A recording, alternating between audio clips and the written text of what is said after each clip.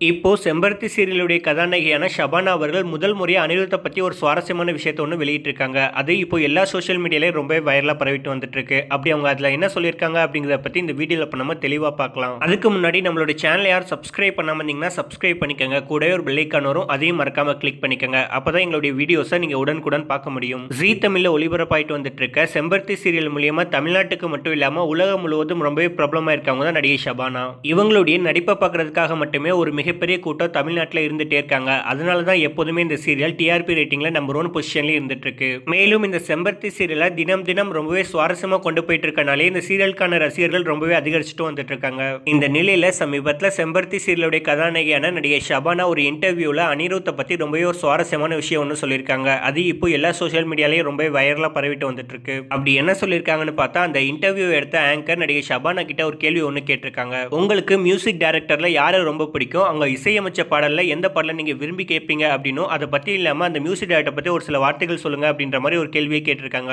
அந்த கேள்வியை கேட்டோடனே கொஞ்சம் கூட யோசிக்காமல் எனக்கு அனிருத்தை தான் ரொம்ப பிடிக்கும் அப்படின்ற மாதிரி சொல்லியிருக்காங்க. அது மட்டும் இல்லாமல் அவருடைய முதல் படமான த்ரீ படத்துடைய பாடல்கள் கேட்டோட்டி நான் ரொம்பவே இம்ப்ரெஸ் ஆகிட்டேன் அதிலிருந்து அவருக்கு ஒரு மிகப்பெரிய ஃபேனாக நான் மாறிட்டேன். அது மட்டும் இல்லாமல் அவர் ஏதாவது ஒரு படத்துக்கு இசையமைச்சா அவருடைய இசைக்காகவே நான் தேட்டருக்கு போக ஆரம்பிச்சிட்டேன் அப்படின்ற மாதிரி அவங்க சொல்லியிருக்காங்க.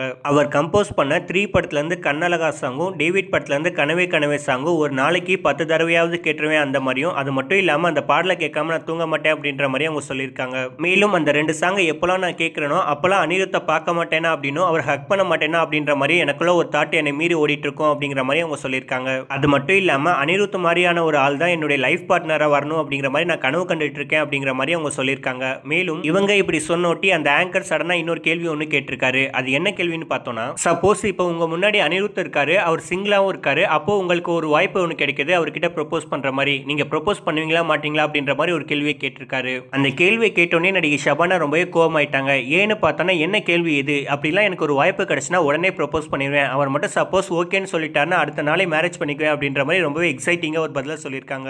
இப்படி ஒரு பதிலை கேட்டோட்டியே அந்த ஆங்கர் ரொம்பவே வியப்பாயிட்டாரு அது மட்டும் இல்லாட்டி அப்போ உங்களோட ட்ரீம் பையனை ஒரு நல்ல சிங்கராக இருக்கணும் அப்படிதானே அப்படிங்கிற மாதிரி ஒரு கேள்வியை கேட்டிருக்காரு. அதுக்கு ஷபானா ஆமா அப்படின்னு சொல்லியிருக்காங்க. ஸோ இப்போ எல்லா சோஷியல் மீடியால நடிகை ஷபானா அனிருத்தை பற்றி சொன்ன இந்த விஷயம் தான் ரொம்பவே வைரலாக பரவிட்டு வந்துட்டுருக்கு. ஸோ இந்த வீடியோவை பார்த்துட்டு இருக்க நீங்கள் எல்லாரும் நடிகை ஷபானா முதல் முறையாக அனிருத்தை பற்றி சொல்லியிருக்க விஷயங்களை பார்த்துட்டு என்ன நினைக்கிறீங்க அப்படின்னு உங்களுடைய கருத்துக்களை எங்களுடைய கமெண்ட் பாக்ஸில் ஷேர் பண்ணிக்கோங்க. இந்த வீடியோ உங்களுக்கு பிடிச்சிருந்தா லைக் பண்ணுங்கள் ஷேர் பண்ணுங்கள் மேலும் இது போன்ற பல வீடியோக்களை பார்க்க தமிழ் டியூப் சேனலை சப்ஸ்கிரைப் பண்ணுங்கள்